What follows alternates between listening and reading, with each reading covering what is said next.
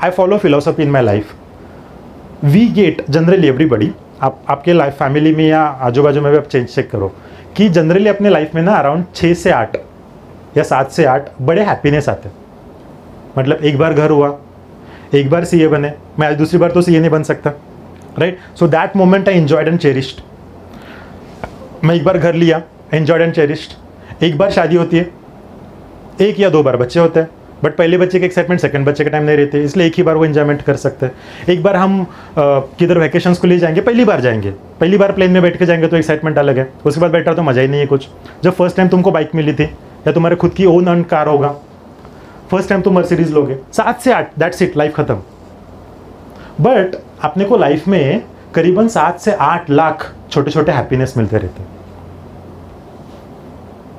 And get that bigger happiness six to seven we lose that all seven to eight lakh happiness happy moments मतलब आज तुमको breakfast में मान लो मेदू वड़ा मिल रहा है, और कोई hardcore South Indian food lover है, उसका तो दिल खुश होना चाहिए आज। अरे वाह, मेरे मतलब लाइफ बन गया आज के तो इतने इससे अच्छा तो नहीं मिल सकता।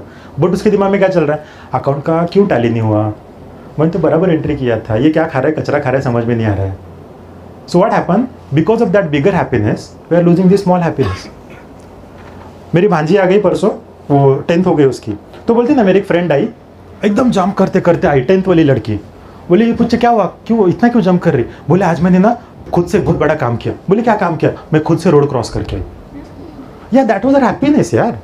And she is enjoying and nobody's care about your happiness. After go from this session, i'm having one meeting in Ko- Kothrud तो मैं शाम को शायद आठ नौ बजे घर पे जाऊँगा। जब मेरे बच्चे दोनों आके मुझे हक करेंगे so that is happiness for me यार। आप बोलेंगे सो वॉट बच्चे ने तो हक किया। राइट बट फॉर मी वो सात आठ लाख में का एक हैप्पीनेस है। You have to enjoy that time but ये सी करते करते हम इतने न्यूट्रल बनते, पता है what what happen with me हाँ ठीक है ना सी तो बन गया। क्या बड़ी बात है? ऑलरेडी दो लाख सी है, उसमें मैं एक आ गया। फिर नेक्स्ट मंथ मैं मॉम से लड़की देखने जाना है। लड़की भी देख ली। उसके ग्यारह महीने बाद शादी भी हो गई। और ठीक है ना, शादी तो हो गई ना, सबकी होती है। मेरी इसमें क्या बड़ी बात है? बिकॉज़ आई बिकम न्यूट्रल आप सबकी हालत होती है, एक दो फेलियर के बाद। अरे एग्ज़ाम है फेल तो होना ही है। पास हो गए तो नसीब। हम न्यूट्रल रहते right we don't keep that expectations so our life become neutral okay और हम इतना न्यूट्रल बनते हैं कि इकोनॉमिक्स में था आपको फाउंडेशन में इनडिफरेंस राइट याद नहीं होगा कुछ किसको। तो इनडिफरेंस में क्या होता है? आपको चाय दो या कॉफ़ी दूँ, आपको सेम यूटिलिटी मिलेगा सेम सेटिस्फेक्शन मिलेगा right so same I become that neutral आप से ये बनते बनते, वही बनते हो। फिर मुझे पहला लड़का हुआ। ठीक है ना? लड़का तो सबको होता है। ऐसे 130 करोड़ है इंडिया में। मैंने का तीर मार लिया। फिर दूसरा भी लड़का हुआ सेम बट आज मुझे 10 साल लगे। पिछले दो साल से मैं फिर से वो एक्साइटमेंट में जा चुका हूँ। कि अभी मुझे हर चीज़ एक्साइट करती है? वो जो सीए बनते बनते जो मैं न्यूट्रल बना था, जो पत्थर बना था, उसको तोड़ने मुझे आठ साल लगे। That happens that happens this is the process but you should enjoy the process I am not saying कि आप ये मत करो। आप डेफिनेटली करो। आप रिज़ल्ट पे एक्सपेक्टेशंस मत रखो। आप पास होगे फेल होगे क्योंकि ज़्यादा एक्सपेक्टेशन रखोगे पास हो जाऊँगा तो खत्म।